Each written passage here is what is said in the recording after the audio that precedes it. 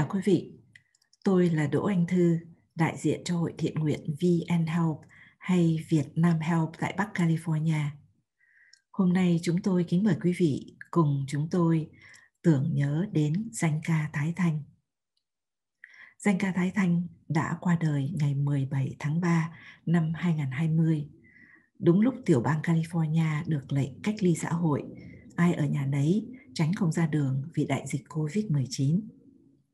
Chúng tôi cũng như hàng triệu triệu khán giả trên khắp thế giới đã vô cùng thương tiếc danh ca Thái Thanh. Chúng tôi đã rất đau buồn khi được xem đám tang của bà trên hệ thống Internet vào ngày 25 tháng 3 năm 2020.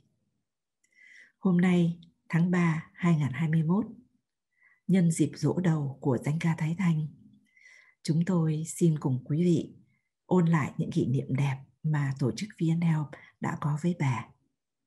Mời quý vị xem những video clips rất hiếm có mà chúng tôi đã trân trọng giữ gìn trong suốt 17 năm qua. Và cũng xin mời quý vị cùng theo dõi buổi trò chuyện thân mật với hai ái nữ của danh ca Thái Thanh, đó là ca sĩ Ý Lan và MC Quỳnh Hương. À, lời đầu tiên xin mời chị Ý Lan chia sẻ những cảm xúc của chị và của gia đình à, trong dịp dỗ đầu của đại danh ca Thái Thanh, người mẹ hiền của các chị. Vâng, cảm ơn à, chị Thư rất nhiều đã um, nhớ đến mẹ của Y Lan vào dịp dỗ đầu. Uh, nếu quý vị biết rằng là chúng ta hiện tại thì cũng vẫn trong thời kỳ đại dịch uh, của Covid-19. Vì thế cho nên uh, vấn đề tổ chức đám dỗ hay là ngay cả những cái buổi ờ, tưởng niệm đến mẹ Ý Lan uh, cho cái buổi dỗ đầu này cũng không thể thực hiện được.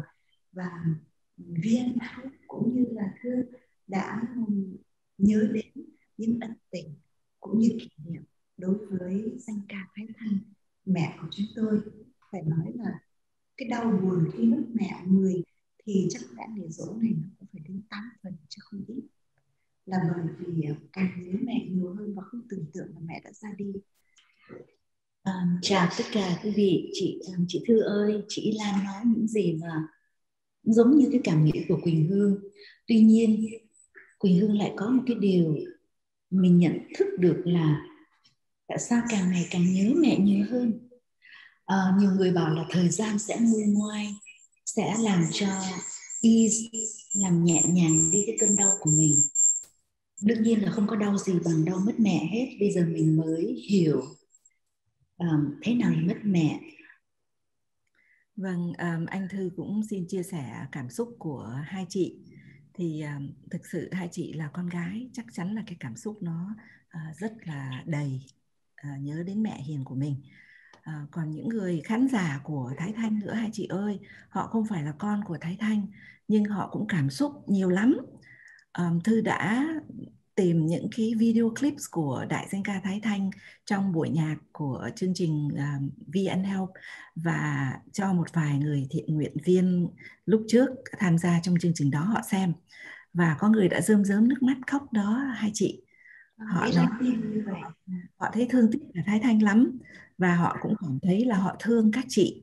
À, vì họ thấy như là Thái Thanh mới mất ngày hôm qua thôi tại một năm trôi qua quá nhanh đối với họ như mới đây và họ vẫn còn cảm động lắm.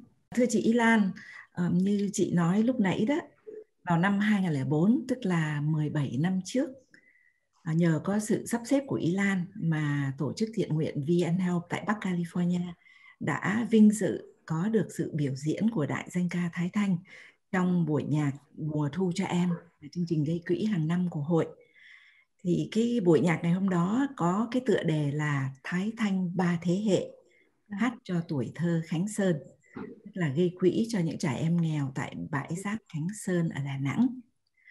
Thì ờ, Ý Lan là một danh ca nổi tiếng nhất ở hải ngoại. Thành ra Ý Lan có rất là nhiều show nhạc. À, anh Thư không nghĩ là Ý Lan có thể nhớ được chi tiết của tất cả các show. Nhưng mà anh Thư thầm nghĩ là chương trình Thái Thanh ba thế hệ hát cho tuổi thơ Khánh Sơn nó có những cái nét rất là đặc biệt mà anh Thư nghĩ là không có trên một sân khấu nào khác do đó anh Thư rất là hy vọng là Ý Lan, Quỳnh Hương còn nhớ được một vài kỷ niệm đẹp của buổi nhạc Thái Thanh ba thế hệ hát cho tuổi thơ Khánh Sơn. À, hai chị có thể chia sẻ một chút được không? Thư ơi làm sao mà một vài kỷ niệm được tất tật luôn nhớ lắm.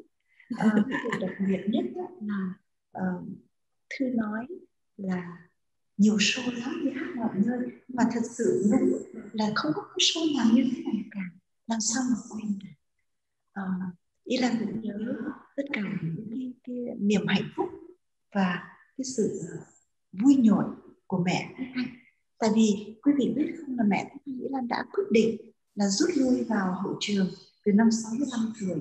Và cái show đó thì là rơi vào lúc mẹ đã 70 phải không Hương đó thành ra uh, Ý Lan cái năm nhìn mẹ mà đến độ mà mẹ cáu lên với Ý Lan đó mẹ bảo là uh, mẹ đã nói vui mẹ không không xuất hiện nữa thì các con cứ bắt mẹ lộn ra rồi lại lộn vào như thế kia. Đấy, đấy là cái lời của mẹ nói. Và không con không bắt mẹ nhưng mà tại vì con đi hát thì khán giả và fans của mẹ nhớ mẹ quá. Và họ xin là con phải làm sao để mà uh, về chuyển lời lại để cho người mẹ xuất hiện trở lại để cho họ được nhìn thấy mẹ. Ít sao là người ca sĩ nào cũng thường thường là cũng phải có những cái show tour để mà ăn chơi khán giả còn đêm mẹ âm thầm thầm lặng lẽ tự nhiên là cách dụng rất là uh, làm cho mọi người rất là sững sờ. Đó thì đó là lý do mà mà mẹ đã đến cái chương trình này. Và quý vị biết không um, ý là nói là cũng chẳng bằng là quý vị được xem à, hai chị ơi à, mặc dù đã đã 17 năm trôi qua nhưng mà thư nhớ mồn một cái cái buổi nhạc ngày hôm đó. Đó là đầu tháng 11 năm 2004 à, trên ngọn đồi Foothill ở Bắc California. Trời hôm đó cũng khá lạnh tại đầu tháng 11 rồi. Và khán phòng của VNL thì rất là ấm cúng có một ngàn ghế đã chật cứng không còn một ghế trống nào. Vì khán giả họ háo hức đến để xem Thái Thanh ba thế hệ và ngày hôm đó thì là Thái Thanh đã 70 tuổi rồi tóc của bác trắng xóa rồi rất là đẹp lão. À, nhưng mà tuy 70 tuổi à, bác Thái Thanh vẫn giữ nguyên cái tính cách của một người nghệ sĩ rất là chuyên nghiệp rất là kinh nghiệm. Và bác đã rất là xuất sắc trong cái phong thái trình diễn rồi à, cái giọng hát của bác vẫn rất là trong trẻo cao vút. Rồi đối thoại rất là dí dỏm khôi hài của bác nữa cái dí dỏm cái khôi hài của đại danh ca Thái Thanh trên sân khấu VN Health đó là cái ngạc nhiên mọi người đó um, mọi người thấy lạ lắm vì uh, chả bao giờ được nghe Thái Thanh uh, đùa giỡn với các con trên sân khấu uh, vậy thì bây giờ anh Thư xin được mời quý vị khán giả gặp lại Thái Thanh của 17 năm trước. Con hát đến độ nó hết cả pin. cái này thì nghe cũng đang được, nói thì được mà hát sẽ hay hơn với cái kia mẹ tin con. Thế bây giờ làm sao? Bây mẹ nói đi, mẹ nói đi rồi chút xíu nữa mình hát. Ok. À... Thưa quý vị, bài buồn tàn thu nó có cái câu mà ai lướt đi bảo ạ thế đi cứ bảo thay thay hát cái chữ lướt đi là không ai hát bằng thái thanh thế nên bây giờ quý vị nào ở đây bắt được chữ lướt đi là tôi mới ăn. bây giờ chắc là cho các con tôi nó bắt trước trước đã. Cô nào ra đây? Bắt trước đi. Ai cô? Cô, cô, cô em.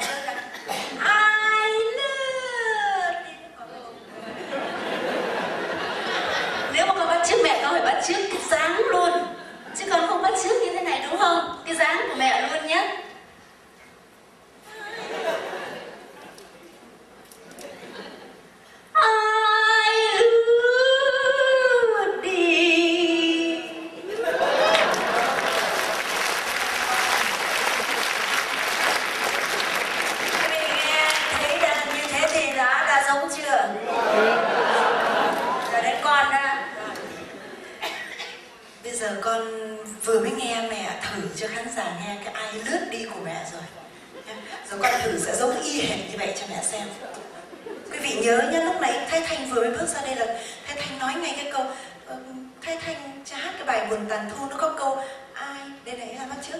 Ai lứa đi. Đúng không ạ?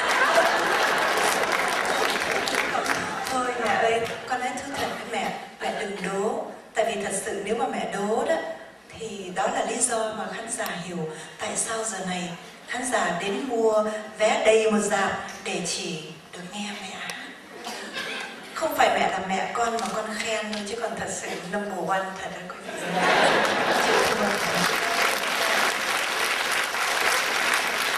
Bây giờ thì đến lượt thái thanh, cái câu mà quý vị đang yêu đó. Buồn tàn.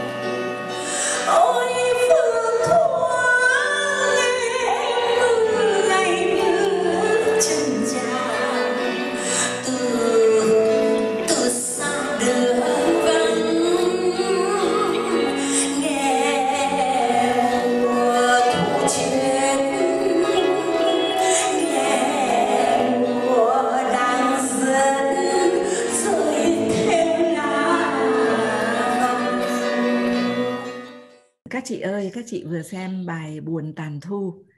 À, thấy hai chị em Ý Lan và Quỳnh Hương nghịch ngợm trên sân khấu vui ơi là vui. Mà bà mẹ của hai chị là còn vui hơn nữa. Còn nhộn nhịp còn khôi hài. Uh, đáng yêu quá đi. Thấy từng chàng cười của khán giả mà thư xem lại thư vẫn cười ha hả ha hả một mình đây. Là tôi biết không? Cái, cái, cái, cái phần đó thì chúng ta phải nói rằng là uh, xuất người ta bảo là xuất khẩu thành thơ còn đây thì thái thanh xuất khẩu thành hài. Cái đó mới lạ đó thành thử ra nó nó không phải là những cái gì mà mình đã plan trước mình mình tập dượt nhau trước. Mà vì thế cho nên nó mới dễ thương như vậy và nó có những cái điều mà ngạc nhiên cho chính cả những người trong gia đình cơ mà lại tự nhiên nữa. Vâng rất là tự nhiên. Um, thực sự là thư có dịp uh, thưa chuyện với lại uh, bác Thái Thanh ở trong hậu trường đó thì bác rất là nghiêm trang có vẻ ít nói và nét mặt một đôi khi cũng hơi đăm chiêu nữa. Nhưng mà khi bác lên sân khấu là bác khác hẳn. Khi lên ừ. sân khấu là bác xuất thần với ừ. những cái tràng vỗ tay của khán giả là bác thực sự là xuất thần đó cái trình diễn người cái người người sống người sống cho sân khấu và của sân khấu là vâng. đó là lý do mà tại sao mà nghệ sĩ có những người mà sống một cái đời sống hàng ngày bình thường um, giống như là đang ngủ quá và chỉ có giây phút mà đứng trên sân khấu mới thật sự bật giải tỉnh táo. Và, và lại còn cộng thêm nữa là là giống như là đồng tâm bát thư ạ. Hay lắm. Vâng. với lại có một điều này không biết chị thư có nhớ tại vì khi mà họp với lại ban tổ chức trước khi mà vào show thì ban tổ chức có nói rằng bây giờ đưa cho quỳnh hương cái chi tiết. Tại vì Hương làm cái phần MC thì khi mà đưa những cái chi tiết đó thì ban tổ chức nói Quỳnh Hương cứ điền vào những cái gì Quỳnh Hương muốn nói. Thì Quỳnh Hương có nói với lại ban tổ chức rằng là thật sự ra đó, làm MC cho những cái chương trình mà thâu hình thì đương nhiên là phải có script để theo đó mình làm thế nào. Nhưng mà với cái show này thì Quỳnh Hương chỉ biết là phép là để cho gia đình chúng tôi tự uh, gọi là điều động à, tùy theo cái cái cảm hứng lúc đó cho nên mới có những cái màn khôi hài mà không có được sắp xếp đó là thấy tự nhiên là vậy đó chị. Vâng dễ thương quá và thật là hiếm quý. Thư nghĩ là không có một sân khấu nào có được những cái uh, mẩu chuyện đối thoại giữa thái thanh ba thế hệ như thế. Thành ra đối với anh chị em VN Health đây là một cái tài liệu mà à, chúng tôi rất là trân trọng quý vô cùng và nhân cái dịp dỗ đầu của đại danh ca Thái Thanh chúng tôi mới có dịp để mang ra để mà um, chiếu cho một số uh, những người mà ngày xưa xem rồi họ được dịp xem lại. Còn những người mà đã miss cái cái cái buổi nhạc ngày hôm đó thì sẽ có dịp xem lại Thái Thanh. Thì anh thư xin được ừ, mời quý vị khán giả xem thêm một tiết mục khác nữa à, còn vui hơn nữa. À, khán giả đã cười vỡ cả giảm mời quý vị theo xem một tiết mục nữa của Thái Thanh ba thế hệ sau đây.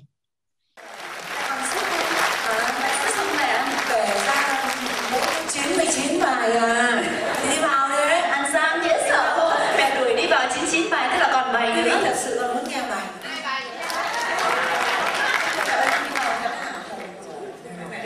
mẹ đây đùa rồi đấy con thấy mẹ quay còn ngon lắm rồi lấy nhé quay kia nữa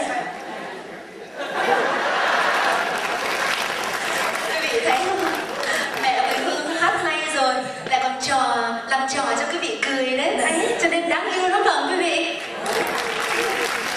và bây giờ đây là thể theo lời của ban tổ chức ban tổ chức um, có nhà ý rằng là muốn ba thế hệ trình bày một nhạc phẩm để gửi tặng đến tất cả quý vị. Rằng là có uh, mẹ Thái Thanh của Y Lan rồi Y Lan Quỳnh Hương và thế hệ là thế hệ thứ hai và thế hệ thứ ba là cháu Mai Linh. Nhưng mà bên cạnh đó có một cái hệ giữa nữa.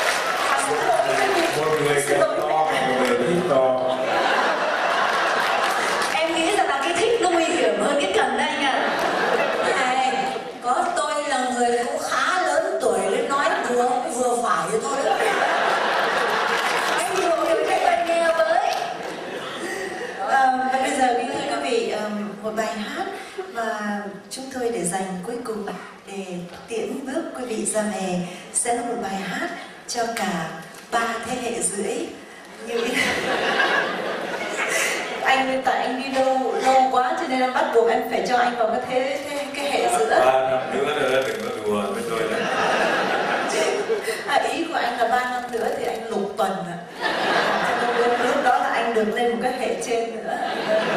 Thế thưa quý vị, bài hát kế tiếp là một bài hát mà Y đang nghĩ rằng tất cả chúng ta ai cũng thích bài này bởi vì chúng ta ngồi ngay tại đây với nhau là không phải Việt Nam không phải đất nước uh, cha xanh mẹ đẻ của chúng ta. Nhưng mà Y Lan không bao giờ cảm thấy thiếu thốn bởi vì chúng ta ngồi lại đây với nhau với tiếng nói Việt Nam với ánh mắt tâm hồn của người Việt Nam với mái tóc của người Việt Nam là chúng ta có lại quê hương của chúng ta ngay tại đây đêm hôm nay.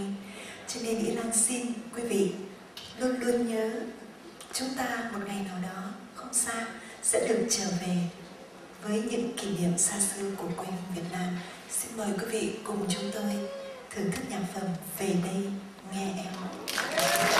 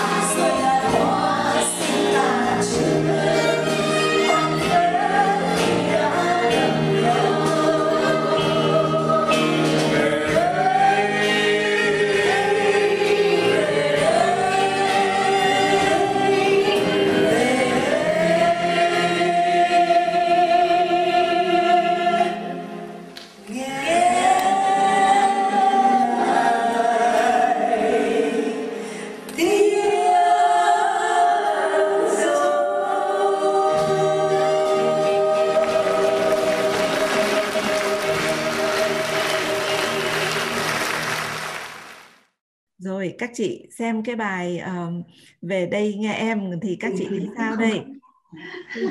Quá.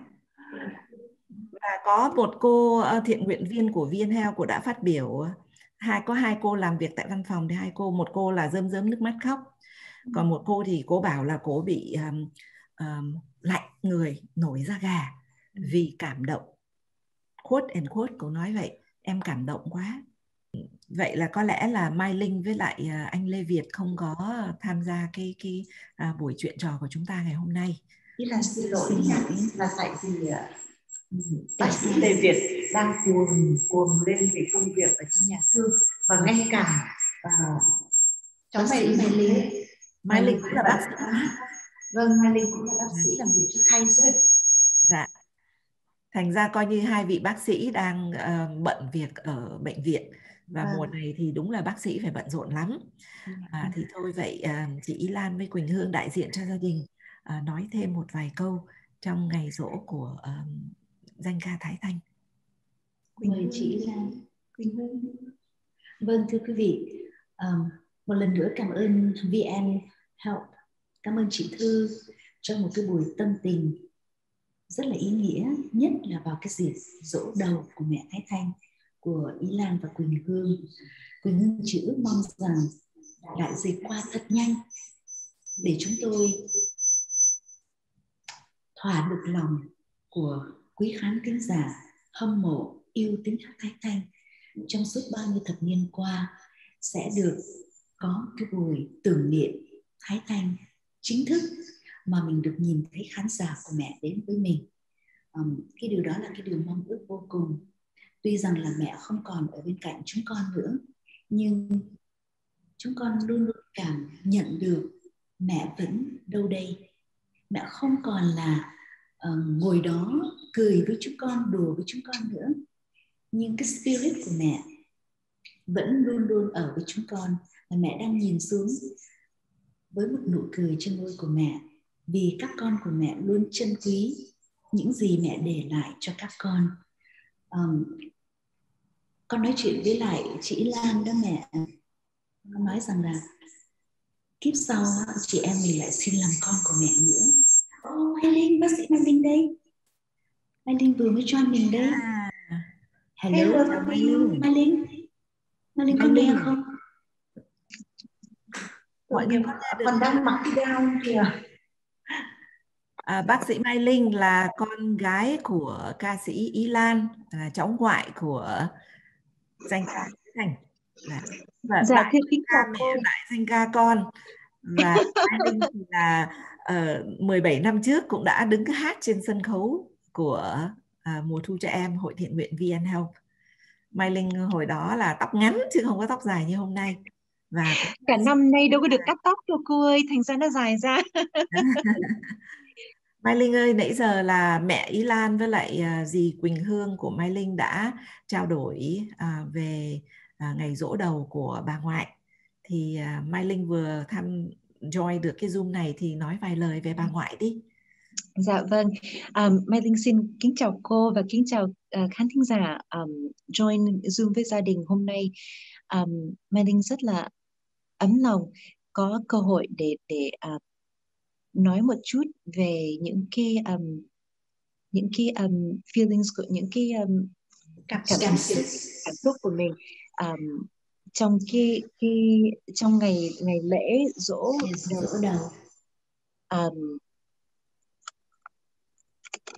đây cũng là không phải là chuyện dễ để mà mình share với mọi người vì bà ngoại à, và Mây Linh rất là gần gũi với nhau.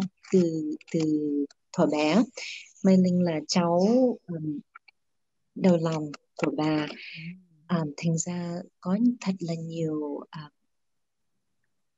nhiều kỷ à, niệm. kỷ niệm với nhau nhiều experience với nhau. Và Linh Mai Linh lớn lên với bà ngoại được gần gũi thật nhiều với bà ngoại trong trong um, suốt cả gần hơn 40 năm trước khi bà ngoại ờ, đã ra đi. Năm nay Mai Linh không có thích xài cái cái từ mất bà tại vì bà lúc nào cũng có còn trong lòng của mình. Nhưng mà mất mất cái um, những cái opportunity những cái cơ hội để nói chuyện với bà được bà massage cho được bà nấu ăn nấu nấu uh, chè cho ăn đó là những cái điều mà Linh rất là nhớ và xót vì thấy mẹ và thấy dì Quỳnh Hương um, thiếu sót bà nhiều. Thành ra đó là là những cái điều mà mình mình mình thấy buồn trong lòng mình nhớ thật. Nhưng Mai Linh rất là hên và quý là mình có được hơn 40 năm như là một cuốn sách thật đầy những cái um, kỷ niệm mà mình mình được share với bà ngoại từ từ bé. Xong rồi lớn lên theo theo bà học hát ở trong lớp hát với bà um, xong rồi được được bước lên sân khấu với bà cũng như cô đã đã share với mọi người là Mai Linh cũng có được khá vài năm hát với được lên sân khấu để làm thế hệ thứ ba của của của bà ngoại thành ra Mai Linh rất là thích quý những cái kỷ niệm này và Mai Linh thường hay chia sẻ với bạn bè với lại con cái của mình. Bây giờ Mai Linh cũng có hai hai hai cháu. Um, và hai em bây giờ được 8 tuổi và 10 tuổi rồi. Thành ra hai em rất là thích coi video của bà cố và nghe nghe à, nhạc của bà cố và nghe được và nhưng linh nghĩ là hai em thích nhất á, là nghe được những cái chuyện mà mẹ kể về bà cố. Và ừ. mình thấy đó là là em hai đứa con của mình mỗi lần mà nó nghe được những cái chuyện mà mình kể về bà cố đó là tụi nó nó thấm vào lòng lắm cô ơi. Thành ra mình cứ nói là bà ngoại không có mất tại vì bà ngoại lúc nào cũng cũng còn trong những cái lời uh, lời nhắc nhở với lại gia đình thành ra linh lúc nào cũng thấy là bà ngoại vẫn còn với mình chứ không có phải mất đi luôn. Đúng rồi. Thì à, à, mẹ hay bà ngoại sẽ sống mãi trong lòng của các chị và các cháu. Cũng như Dạ. là tiếng hát của Thái Thanh sẽ sống mãi trong lòng những người yêu nhạc Việt Nam. cảm ơn mình mong vậy. Cảm ơn cô Anh Thư rất là cảm ơn à, ca sĩ Y Lan, MC Quỳnh Hương, bác sĩ Mai Linh, xin gọi cháu là bác sĩ nhé. dạ À, thật cảm ơn à, cô chị Ngọc Lan là à, vợ của bác sĩ Lê Việt không có mặt à, tham dự ngày hôm nay được thì à, anh Thư rất cảm ơn à, mọi người đã cùng trò chuyện thân mật ngày hôm nay à, để gọi là chúng ta cùng tưởng nhớ đến đại danh ca Thái Thanh.